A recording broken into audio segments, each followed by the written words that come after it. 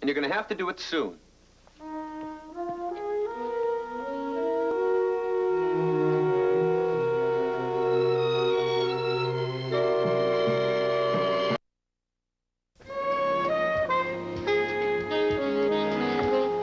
Hey, you got room for one more? Oh, sit down. No. Listen, how's the, um, how's the Murray baby? Well, it's kind of rough. Andy and Jeanette can't seem to agree on which way to go. I wish you'd talk to him, Trap. Okay, I'll give it a try. How's your back? Any better? Oh, much better. Yeah, exercises must be helping, huh? Mm-hmm. Mm, what kind of exercises? Aerobics, yoga? Ballet. Mm. Ballet? As in ballet? Mm-hmm. You know, I took some ballet. Port de bras will improve your pitching. Oh, for sure. Port de bras? Uh, arm exercises. Yeah, like this, Gonzo. I'll show you. The port de bras. Grand. You do this stuff? Oh, sure. Grand battement. Good. That too? Well, that comes next week. That's great, Gloria.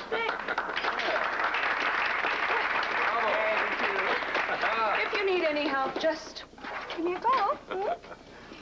Ah. Ah, bravo, bravo, bravo. I take it ballet is not your thing. Uh, no, uh, not really.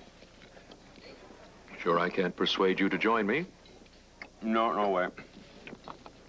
Yes, well, it is tough. Being in a room full of gorgeous women in leotards, and us, the only two men. Oh? Oh?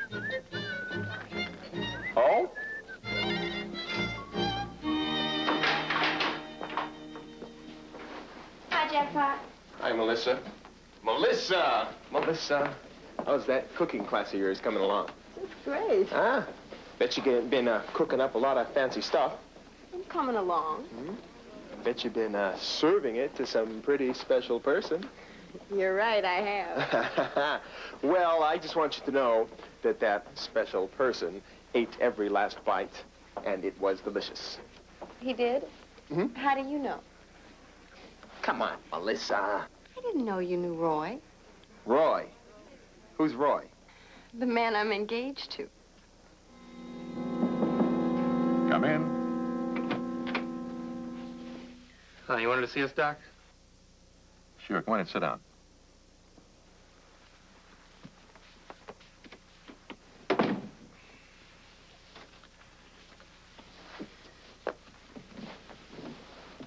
Dr. Gates tells me that um, you still haven't made a decision about your baby. Oh, come on. Get off my case, will you?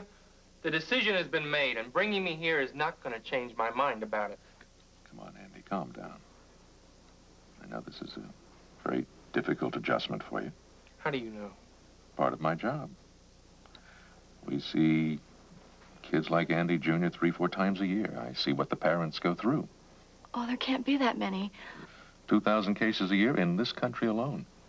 Okay, okay, go. You're trying to make us feel better. Certainly hope so. I'm also trying to get you to move on this. We're, we're caught on a time lock here. Andy Jr.'s, what, 17 months old, right? And the longer we wait, the more difficult it's going to be for all of you. Well, it's just that I don't think we really... The decision has been made. We're going to go for the boy. Now, just a minute, Andy. I have something to say about this. You two don't seem to understand something. If I'd have had a girl from the beginning, it would have been different. But Andy Jr. has been brought up as a boy. He's been dressed as a boy. He's been given boy toys. The whole shot.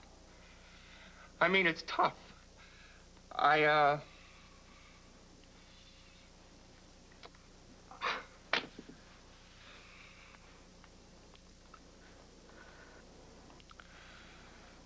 I can understand how you feel, Andy. It's, uh,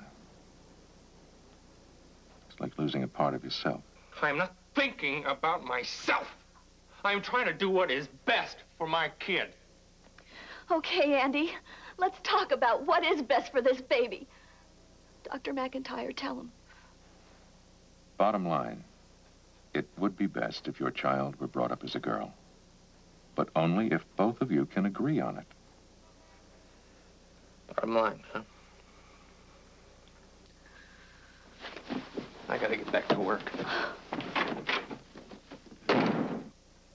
Yes, I do appreciate your discretion, but I have to know who sent those roses. Yeah. Hey, I won't tell if you won't. Please, sir, my peace of mind is at stake here. May a squadron of snails slime up your address.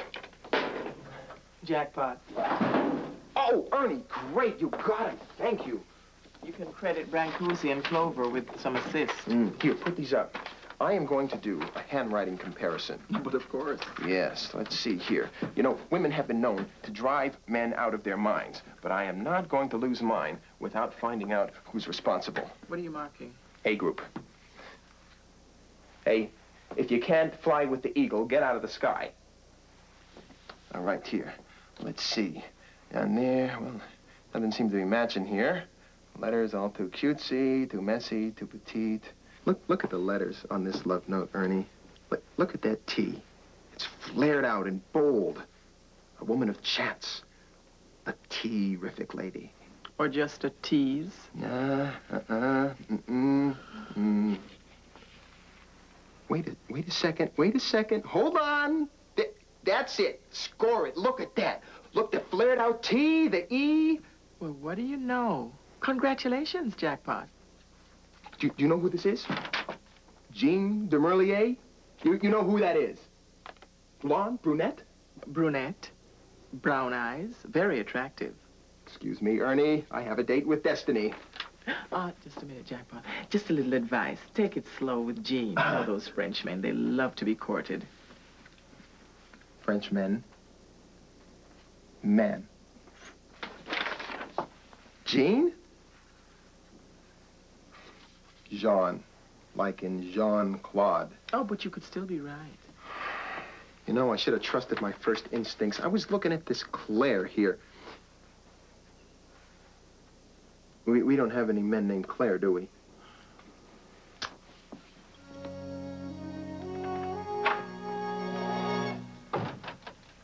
Andy, Not now. we've got to talk. There's nothing to talk about.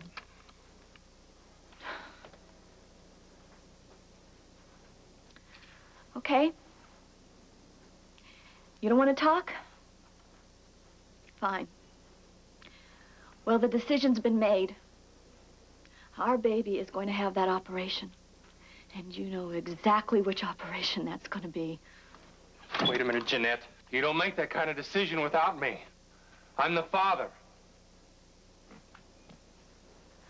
Well, in case you've forgotten, I am the mother. And I am making this decision because you can't seem to think straight anymore. You don't listen to anyone. You just hear what you want to hear.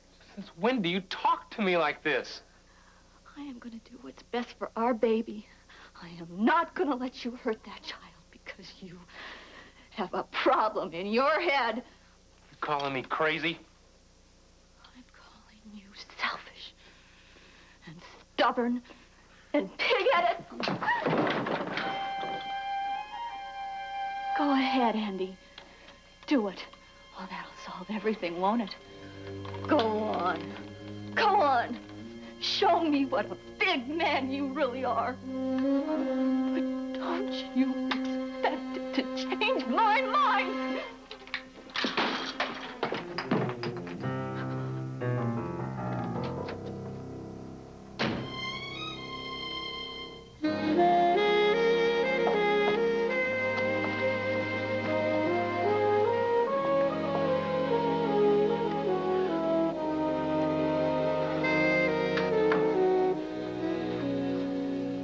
Dr. McIntyre? Oh, good morning. I- I'm sorry to interrupt you, but I've got to talk to you. Okay. Do you mind if I close the door? Oh, sure. Go ahead. I don't know what to do. Andy walked out last night, and he never came back. He's never done this before. Never. I guess I did it all wrong. What'd you do? Well, I made the decision for us.